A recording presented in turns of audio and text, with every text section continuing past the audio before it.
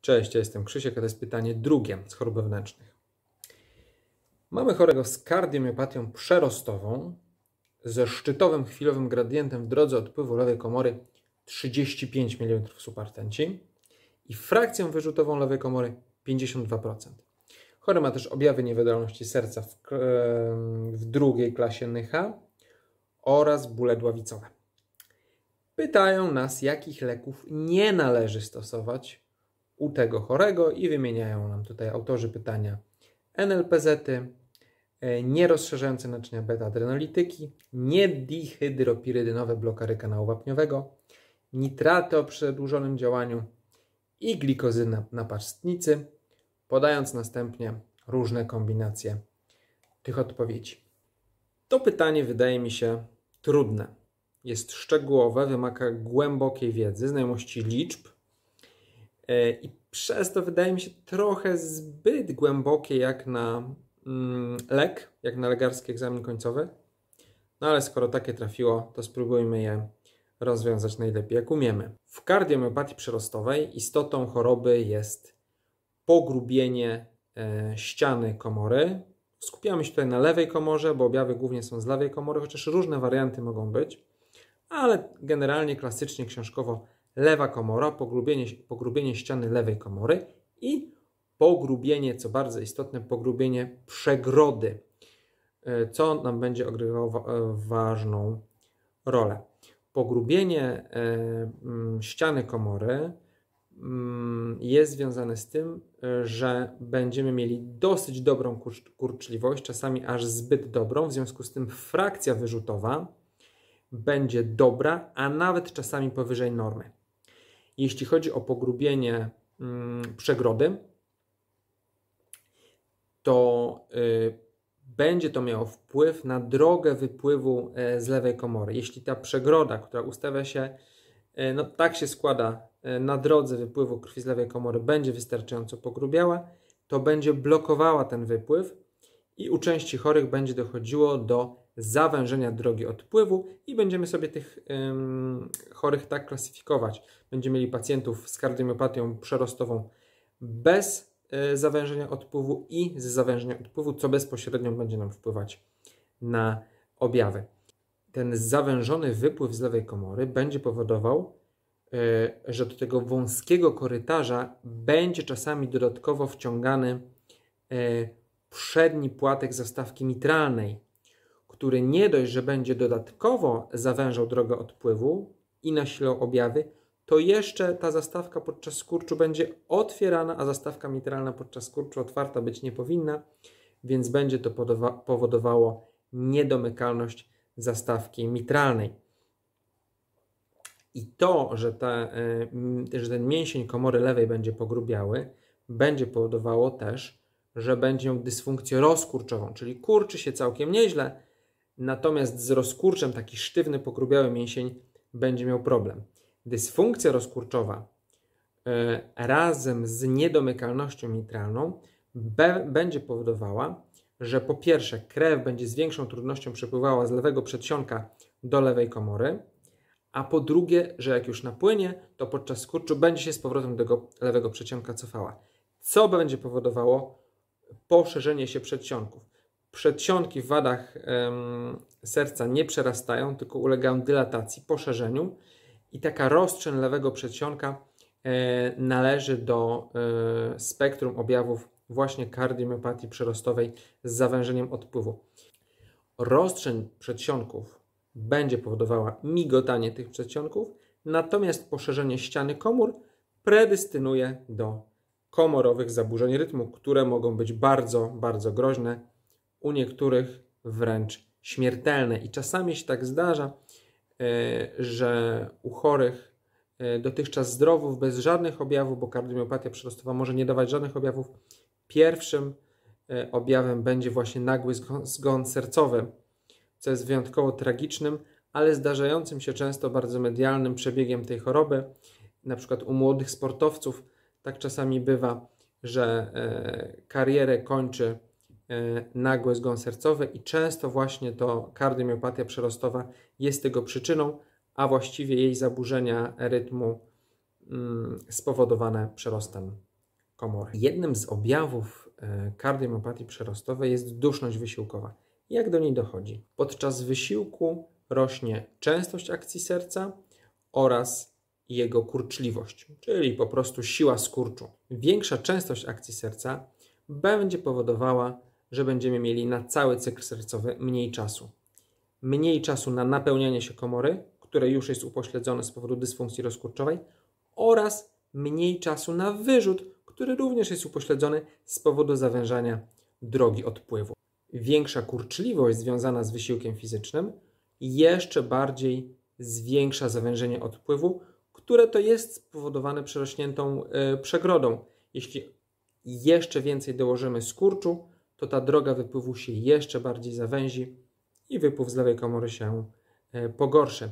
W związku z tym wysiłek, powodując przyspieszoną akcję serca i zwiększoną siłę skurczu, będzie nam dawał objawy w postaci duszności, czyli braku odpowiedniego dowozu tlenu do komórek. W związku z zawężaniem drogi odpływu pojawią nam się jeszcze dwa objawy: omdlenia i bóle wieńcowe. Obydwa te dwa objawy są związane z tym, że mamy upośledzony przepływ e, krwi z lewej komory do aorty. Mniej krwi w aorcie, mniejszy przepływ przez narządy kluczowe, czyli przez mózg i przez serce. I taki właśnie efekt jak omdlenia i bóle wieńcowe będziemy mogli obserwować klinicznie u pacjenta. Sytuacja jest podobna do objawów przy stenozie aortalnej, gdzie właśnie podobne objawy możemy spotkać. I tak się czasami zdarza, że klinicznie wyjściowo ciężko te dwie mm, jednostki od siebie odróżnić.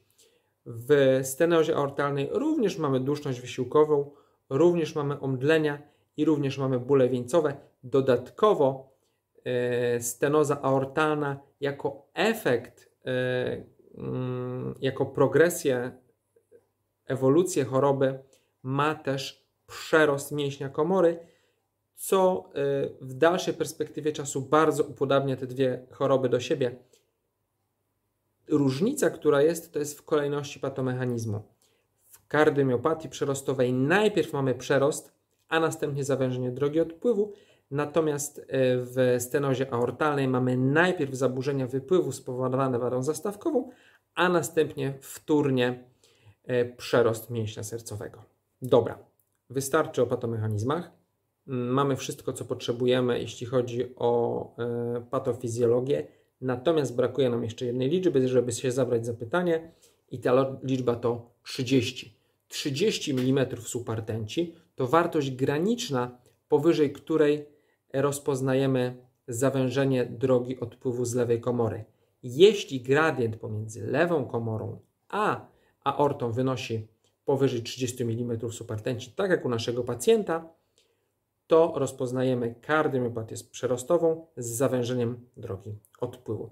Zabierzmy się za nasze e, odpowiedzi. Mm, pierwsza odpowiedź to NLPZ. -y.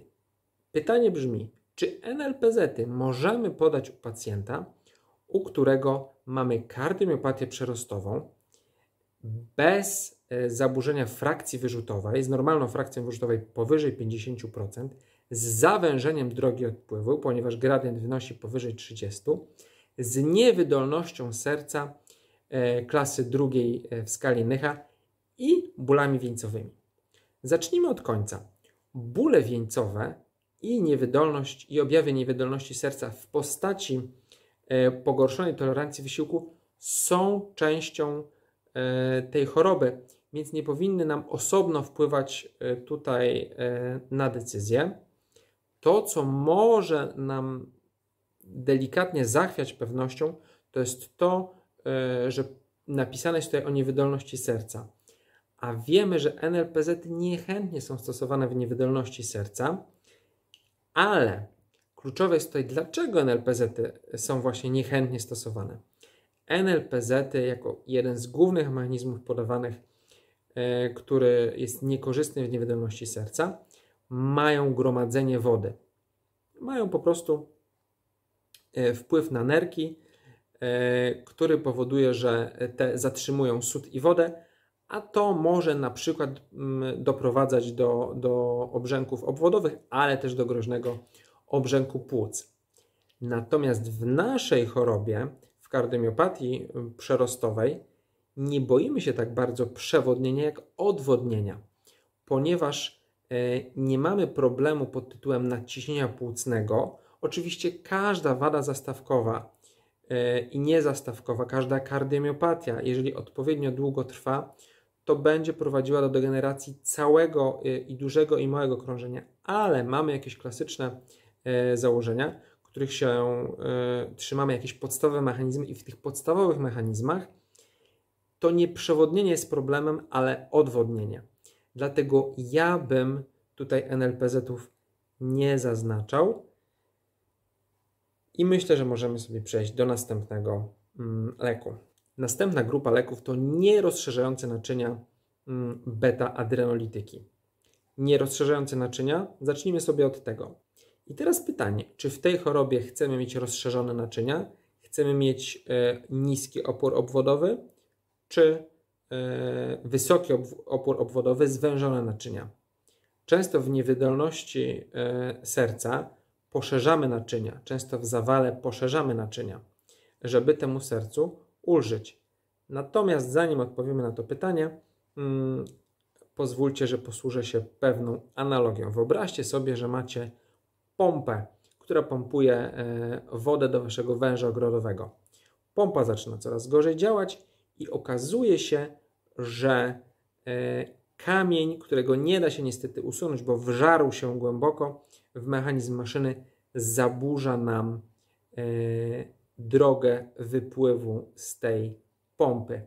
Nie możemy nic z tym zrobić, e, natomiast możemy dobrać sobie wąż do tej pompy. I pytanie jest takie, czy jeśli mamy małą dziurkę, przez którą z dużym ciśnieniem wylatuje mała ilość wody, to dobierzemy szeroki wąż czy cienki.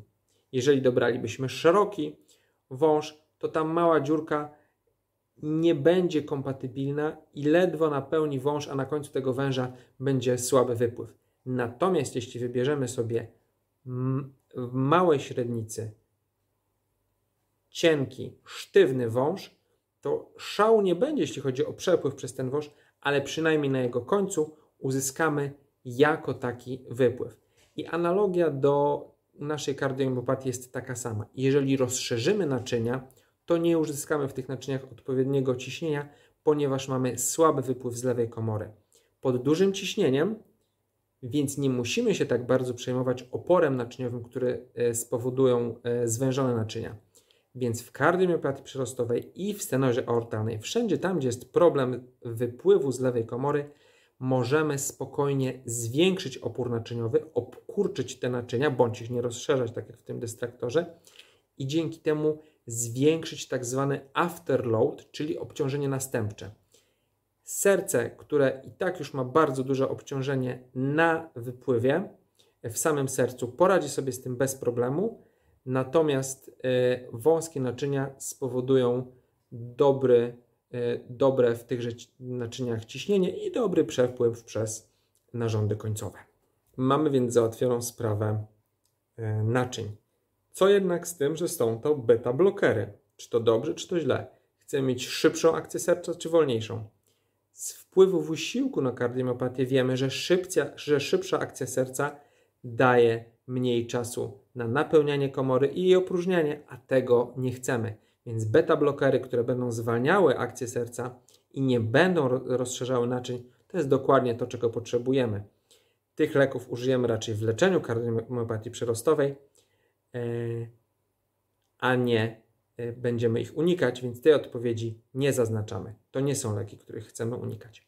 Następna grupa leków to niedyhydropirynowe blokery kanału wapniowego. Generalnie blokery kanału wapniowego rozszerzają naczynia, ale te niedyhydropirynowe, takie jak verapamil i diltiazem, właściwie mamy tylko verapamil i diltiazem, będą raczej wpływały na e, akcję serca niż na naczynia.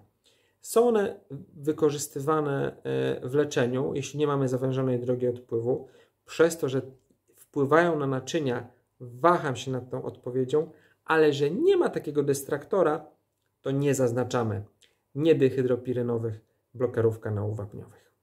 Następny lek to nitraty. Co robią nitraty? Rozszerzają naczynia, rozszerzają tętnice, rozszerzają żyły. nie chcemy mieć rozszerzonych naczyń. Jeśli rozszerzymy tętnicę, zmniejszymy opór obwodowy i tak jak w w analogii z wężem ogrodowym, zmniejszymy ciśnienie tętnicze. Jeżeli natomiast rozszerzymy e, żyły, zmniejszymy powrót żylny, zwiększymy tak zwane obciążenie wstępne, czyli wypełnienie komory przed skurczem, czyli właśnie to, co chcemy mieć duże e, w kardiomiopatii przyrostowej i też jeszcze bardziej zwiększymy problem. Dlatego nitratów unikamy w kardiomiopatii przyrostowej z zawężeniem drogi odpływu. Tą odpowiedź zaznaczamy. Następny lek to glikozyna naparstnicy.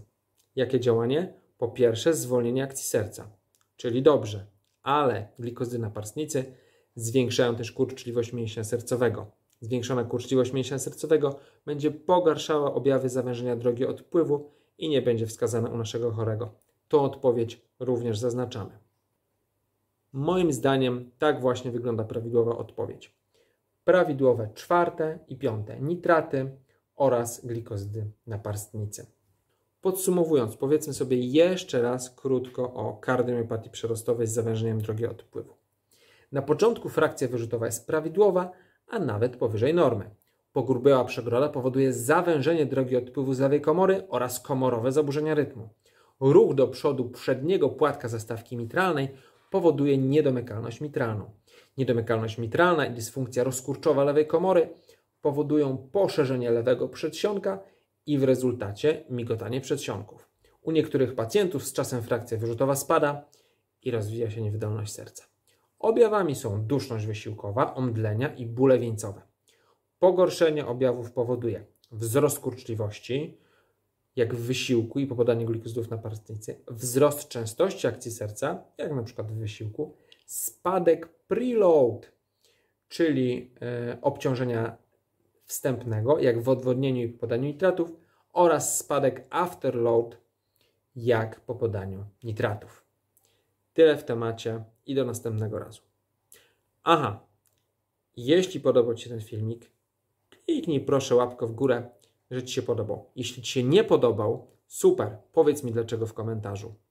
Tutaj gdzieś powinny się wyświetlić filmy, inne moje filmy. Mam nadzieję, że któryś z nich obejrzysz. Do następnego razu.